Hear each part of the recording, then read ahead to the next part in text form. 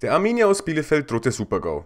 Trainer weg, Geschäftsführer Sport weg, Platz 16, aus den letzten vier Spielen nur einen Punkt geholt und jetzt ausgerechnet kommt der Tabellenführer aus Darmstadt. Bielefeld droht der Super-GO. Bevor wir ins Video gehen, vielen, vielen Dank erstmal für die ganzen Abos in der letzten Zeit. Der Kanal wächst unfassbar schnell, wir sind kurz davor, die 1500 Abos zu knacken. Kuss, Kuss, Kuss, vielen Dank. Liga 2 in Zeit dankt euer Kanal für die zweite Liga. Gerne ein Abo da lassen, gerne ein Like auf das Video da lassen, wird mir die Welt bedeuten. Vielen, vielen Dank, mir macht es unfassbar Spaß, diese Videos zu machen und jetzt let's go. So Freunde, gehen wir mal rein. Äh, Arminia Bielefeld. Hat, ich habe das Video in zwei Teile aufgeteilt. Einmal in einen sportlichen Mannschaftsteil, mehr oder weniger, und einen, einmal in einen personellen Teil. Wir werden jetzt in den personellen Teil anfangen und zwar mit der Entlassung von Geschäftsführer Sport und dem Trainer. Und wir fangen mit dem Geschäftsführer Sport Arabi an.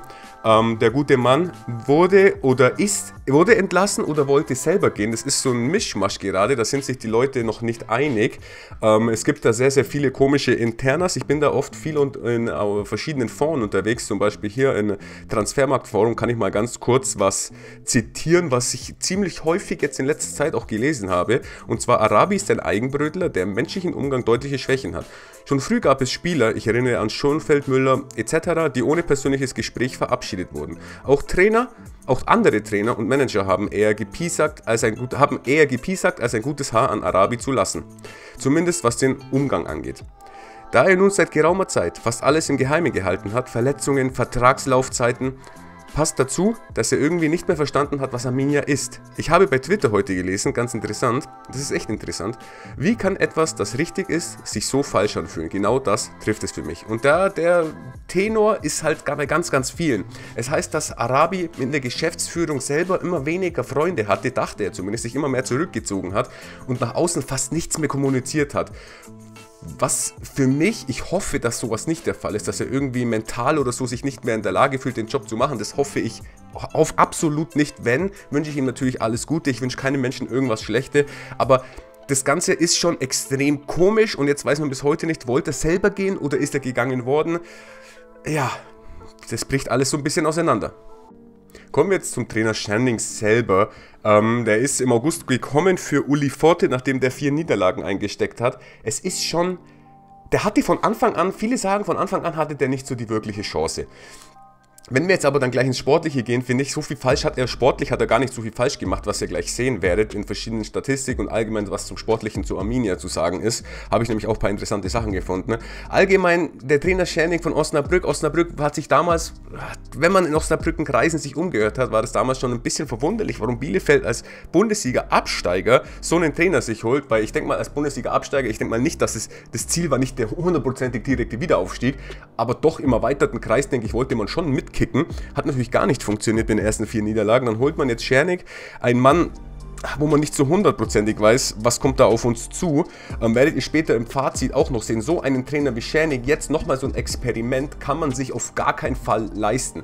Ähm, das Experiment ist gescheitert. Ich glaube, da würden die meisten mir zustimmen aber es ist nicht so krachend gescheitert, wie es viele vielleicht denken. Oder ich das Video ist aus meiner Perspektive gemacht, da werde ich gleich noch ein bisschen was aufs Sportliche eingehen. Ganz kurz noch was, äh, neue Trainerkandidaten sind zum Zeitpunkt dieses Videos, 8.3., noch nicht veröffentlicht. Ähm, es sind ganz, ganz viele wilde Kandidaten am Start, wenn man sich so im Transfermarktfonds umschaut, umschaut und alles unter einer Promisse sind sich fast alle Fans, sage ich mal, einig, oder das sind ja viele Fans, was im Transfermarktfonds unterwegs sind, ähm, da sind sich fast alle Fans, sage ich mal, einig, es muss auf jeden Fall, es darf kein Experiment sein, das Ding muss funktionieren. Sie brauchen einen Feuerwehrmann, der die Arminia einfach nur überm Strich hält. Das ist das Wichtigste, was im Moment Fakt ist, man darf, kein, man darf nicht experimentieren. Es muss einer sein, der die Arminia über den Strich hält, dass man dann in die nächste Saison gehen kann. Der Kader ist gut genug. Ich glaube, wir brauchen über den Kader nicht diskutieren. Der Kader ist top.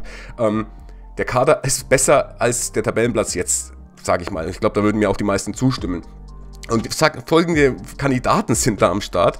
Antwerpen, Baum, Herrlich, Magath, Robin Dutt ist äh, anscheinend bei Wolfsberger FC entlassen worden. Das hat sich aber dann eventuell doch als Ente herausgestellt. Man weiß nicht so genau. Walpurgis ist am Start. Wie gesagt, und man ist sogar am überlegen, ob man Neuhaus zurückholt, weil Neuhaus hat sich damals mit Arabi, sagen wir mal, ein bisschen verstritten.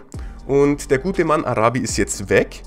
Und jetzt könnte es sein, dass ein Neuhaus zurückkommt. Und viele würden das sogar, wie ich das rauslesen kann. Lasst mich in den Kommentaren mal diskutieren, ganz wichtig. Ich will wissen, was ihr davon auch haltet. Ähm, viele denken jetzt, dass der Trainer Neuhaus die Mannschaft da unten wieder rausführen kann, wie er es schon mal gemacht hat. Auf jeden Fall muss ein Feuerwehrmann her, der die Armenier unbedingt überm Strich hält. Das ist das Einzigste, was jetzt noch zählt. Ab ins Sportliche so viel hat Schäning nicht falsch gemacht. Ähm, man hat jetzt die letzten drei Spiele gegen Braunschweig, HSV und Heidenheim bestritten. Und ich möchte euch, bevor wir jetzt überhaupt ins Sportliche reingehen, ganz kurz was vorlesen. Okay? Ich möchte euch ganz kurz was vorlesen. Schluss in Hamburg. Der HSV siegt mit 2 zu 1 gegen Arminia Bielefeld. Die Gastgeber waren hier keineswegs die bessere Mannschaft. Doch die, Arminie, doch die Arminia konnte ihre Chancen nicht nutzen, während die Hanseaten effizienter waren. Und dann ist Schluss in Bielefeld. Abgesehen von dem Doppelabschluss beim Tor erspielte sich Heidenheim nur 0,06 Expected Goals aus zwei Schüssen. Doch diese Effektivität reicht, um Arminia zu besiegen, weil die ihre Chancen nicht machten. Allein Brian Lassme scheiterte viermal an der Zielgenauigkeit und an einer tollen Parade von Kevin Müller. Eine tolle Zweitligapartie ist zu Ende. Vor allem die erste Halbzeit mit der frühen 3-0-Führung für Bielefeld und dem Doppelpack von Ferrei begeisterte mit insgesamt 5 Toren. Im zweiten Durchgang drückte Braunschweig erfolgreich auf den Ausgleich, denn der eingewechselte Uja in der 72. Minute besorgte. Danach waren die Hausherren näher am Siegtreffer als die Ostwestfalen. Das waren jetzt auf originalbundesliga.de die drei Fazite zu den letzten drei Spielen. Und ihr merkt, und ich finde, das sieht man, und vor allem am letzten Spiel bei Braunschweig sieht man, an was es da, gegen Braunschweig sieht man, was es, an was es der Arminia mangelt. Die Arminia ist uneffizient. Die Arminia spielt nie 90 Minuten auf einem Level. Und das sieht man ganz klar gegen Braunschweig, wo man 3-0 führt und dann noch 3-3. Es reichen keine 20 guten 20 Minuten, es reichen keine guten 45 Minuten. Du musst ein Spiel 90 Minuten, dein Ziel muss es sein, so nah wie möglich an die 90 Minuten ranzukommen, auf einem Niveau zu bleiben. Gelingt nicht immer, aber bei der Arminia ist es Tag und Nacht, was das Braunschweig-Spiel mehr als verdeutlicht. Heidenheim hat 0,06 Expected Goals. Das sind so gut wie gar keine Chancen und die machen die Dinger. Also fassen wir zusammen. Weil, wenn man die Statistiken, ganz kurz bevor wir zusammenfassen, wenn man die Statistiken reinguckt, man ist bei, mit Ballbesitz 13., man ist mit 1,4 Tore im Spiel äh, 11., Passgenauigkeit 72% ist man 13., 1,7 Gegentore ist man 13. Und wenn wir uns die Zweikämpfe angucken, dann sieht es sogar noch besser aus. Da ist Arminia Bielefeld auf Platz 1 mit 2533 gewonnenen Zweikämpfen. Das sind alle Statistiken, die den Tabellenplatz nicht wirklich nicht wirklich widerspiegeln. Und man findet auch keine Statistiken, die, die Arminia Bielefeld da unten, wenn man nur die Statistiken anschaut, sieht man Arminia Bielefeld nicht da unten drin.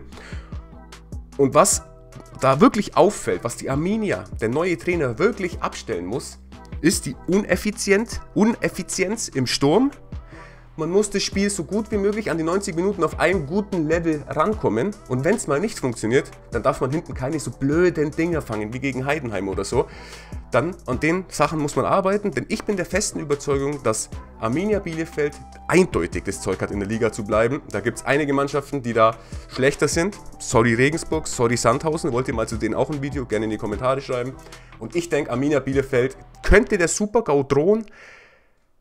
Ich hoffe es nicht. Ich denke, ich würde die Chancen auf 50-50 im Moment einschätzen, je nachdem welcher Trainer kommt. Das, wird, das entscheidet alles. Wenn euch das Video gefallen hat, gerne ein Like da lassen. Was haltet ihr von Arminia Bielefeld? Lasst es mich in den Kommentaren wissen. Bis zum nächsten Video. Ciao, ciao.